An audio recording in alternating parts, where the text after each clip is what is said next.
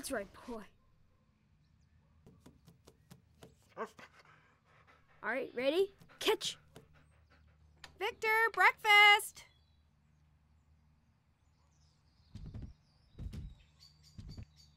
Good boy. Victor, are you up here?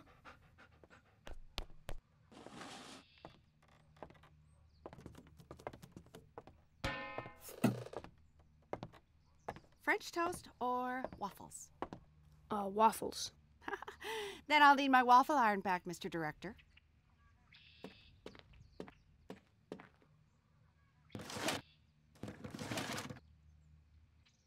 Uh, it's my science project. It's a robot. A robotic bucket? Yes. For mopping, I suppose. Yes.